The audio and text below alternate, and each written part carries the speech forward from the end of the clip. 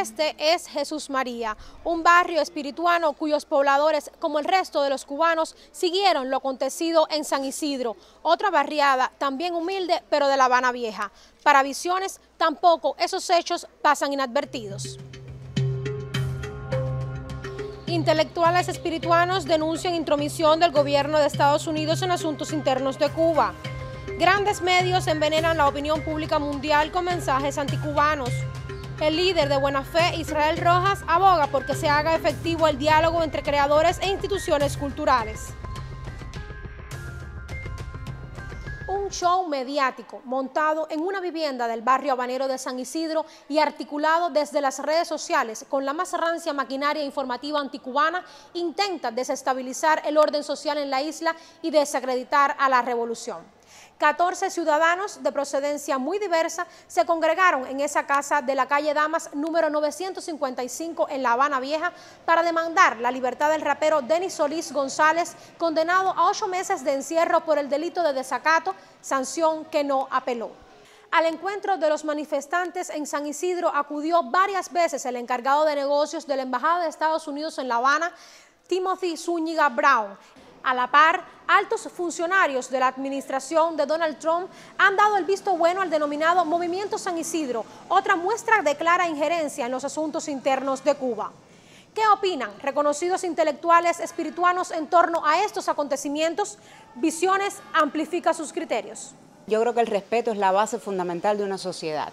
Una sociedad sin respeto no puede ser una sociedad equitativa, no puede ser una sociedad culta, instruida, no puede ser una sociedad educada y muchísimo menos una sociedad aportadora para el futuro. Yo creo que este movimiento ha perdido ese valor. Inclusive creo mucho más, creo que el respeto a sí mismo, en primer lugar, es lo que ha faltado allí, el respeto a la población cubana, porque una persona puede estar en contra ideológicamente de un gobierno, de un sistema, hasta de un país. Pero lo que nunca puede pasar es que se irrespete y se mancillen los valores de un país. Me duele ver que no es una lucha por un posicionamiento ideológico, sino que es una lucha por satisfacer los gustos y los intereses de quien paga. Y ahí es donde no creo en eso, ahí es donde desconfío y ahí es donde me molesta que me injurien mi bandera y me molesta que me manchen la historia de mi país. Y creo que si algo le sucede al supuesto movimiento San Isidro es que no tiene una plataforma, ni cultural ni política. Hay toda una serie de intereses que se mueven de forma externa, que no sorprenden porque en otros momentos han existido movilizaciones en torno a determinados grupos que para nada sorprenden porque eh, emergen de una etapa de crisis de algún tipo en cualquiera de los países, en este caso, en el caso de Cuba. No cabe la menor duda, como en otras ocasiones, que los Estados Unidos se han movido de una manera muy evidente en torno a, este grupo de, personas y no lo han disimulado para nada, porque siempre ellos se han preocupado por aparecer desde una perspectiva protagónica incluso, en la medida que eh, haya revelaciones de esta naturaleza, porque es tal vez una manera que ellos tienen de... Eh, dar a conocer ante el mundo su prepotencia, que nunca va a faltar, pero bueno, eso para nada desestima la posibilidad de Cuba de fortalecer al país. En esta etapa más reciente hay más posibilidades, mm, ellos han visto más posibilidades en el mundo, sobre todo los Estados Unidos, en su implantación de políticas, mm, conjuntamente con la mafia y con la contrarrevolución eh, que pueda hacer en Cuba, con políticas que le han dado resultados en otros lugares. Y la quieren aplicar aquí, la han aplicado. Y, este movimiento, llamado movimiento mm, de este grupúsculo de, San Isidro, es, parte de esa política.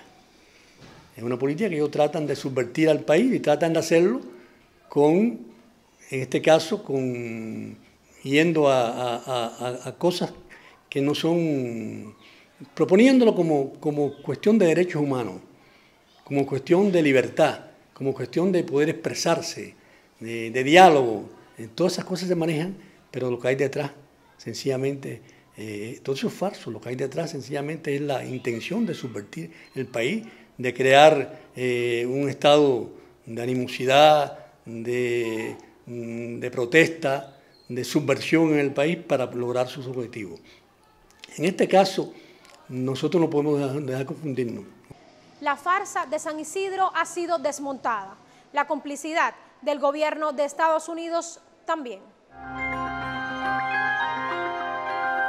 El llamado Movimiento San Isidro, con sede en el barrio habanero de igual nombre, ha protagonizado con sus procederes y exigencias todo un show mediático transmitido casi íntegramente desde las redes. El propósito, pues supuestamente reclamar la libertad de uno de sus miembros y encontrar apoyo internacional, el cual parece haber logrado en parte si se toma en consideración que palabras como represión, desalojo y arresto se leen en los principales titulares de grandes medios de prensa internacionales. Desestimando el hecho de que con el pretexto del arte miembros del grupo han desarrollado performance en los que se ultraja la bandera cubana y denigra públicamente la ley de símbolos nacionales, entre otras actividades que atentan contra el orden público, diarios como el estadounidense The Washington Post prácticamente victimiza a esos jóvenes que según la publicación decidieron poner su cuerpo, morir, por no tener espacio en un país donde pensar distinto equivale a ser un criminal.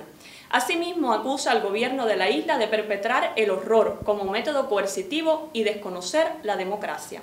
Pero si desplazamos la mirada hacia la cadena alemana Deutsche Welle, el tono discursivo apenas cambia salvo que este medio de prensa considera que la huelga de hambre y de sed protagonizada por algunos de los miembros del movimiento no ha recibido toda la atención mediática internacional que merece, al tiempo que reclama a diversos organismos mundiales como la ONU, la FAO, UNESCO y Organización Panamericana de Salud su pasividad ante el suceso. Pero eso no es todo. Si nos detenemos en el diario español El País, apreciamos que allí se ha construido toda una novela popularmente hablando, incluso con narraciones de uno de sus protagonistas, además de cuestionamientos sobre si los que llegaron a la casa ubicada en San Isidro eran unos agentes de la seguridad del Estado disfrazados de médicos. Como ve, prima un discurso homogéneo en la mayoría de las publicaciones, donde la parcialidad periodística salta a la vista y donde se relata, por lo general, una única versión de los hechos. Usted no permita que nadie se lo cuente. Lea, infórmese y conozca la realidad del llamado Movimiento San Isidro. Nos vemos en un próximo encuentro desde las redes.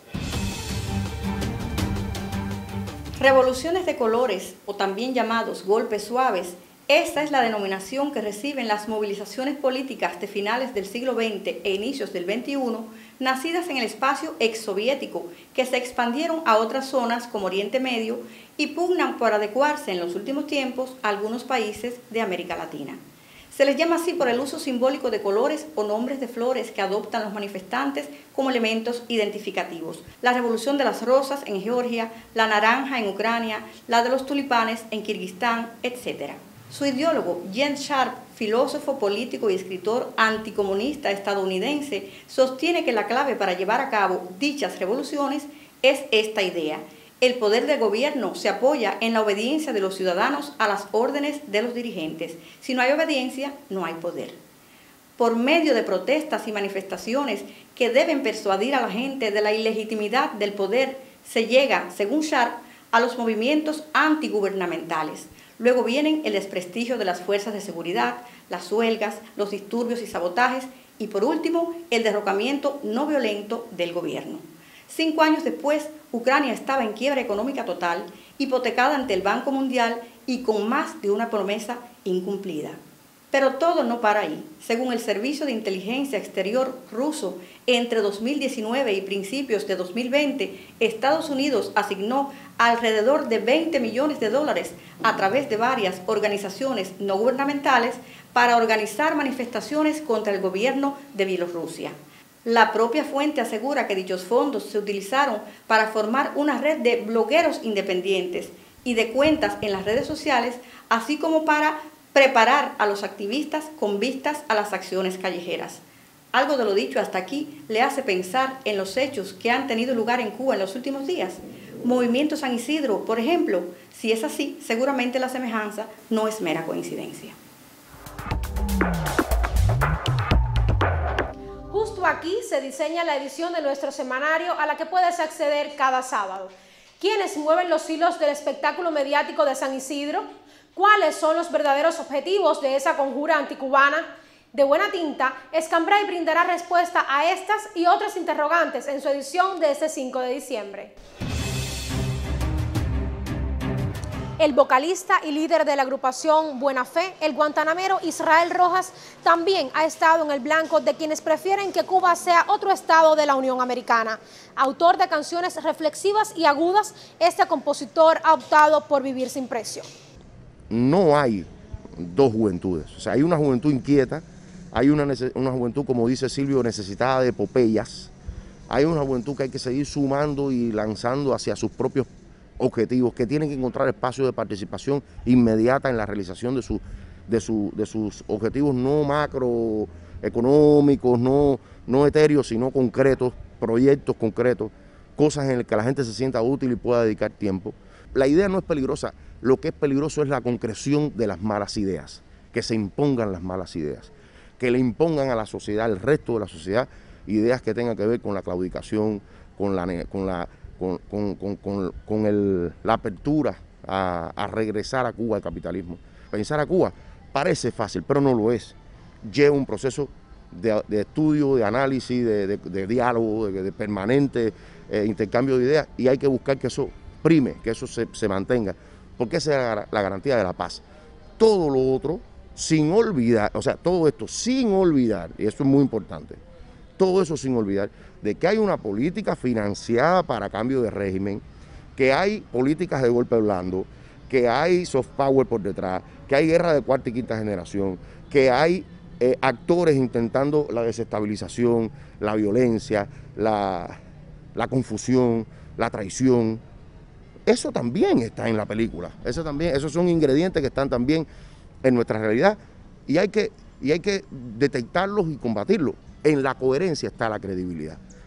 Lo que no se puede perder es la credibilidad, lo que no se puede es meter mentiras. Y además hay que ser agresivo con el que, con el que te opone. Si el que, si el que, no, si el que se opone a nosotros nos vive cazando los, las chapuzas, ¿por qué nosotros no le cazamos las chapuzas a Cuba?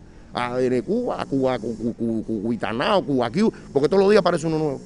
Cazar a la mentira si son unos mentirosos. Son unos mentirosos porque no están aquí.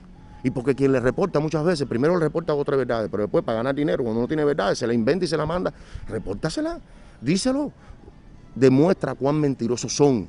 No tengan miedo. Y yo creo que muchas veces a los que, a los que estamos en esta posición de la coherencia, de la defensa de lo mejor para el país, nos deja solo, nos dejan solos cuando nuestras fuerzas y medios no están a la altura de la pelea. Porque el enemigo sí está a la altura de la pelea porque tiene dinero detrás.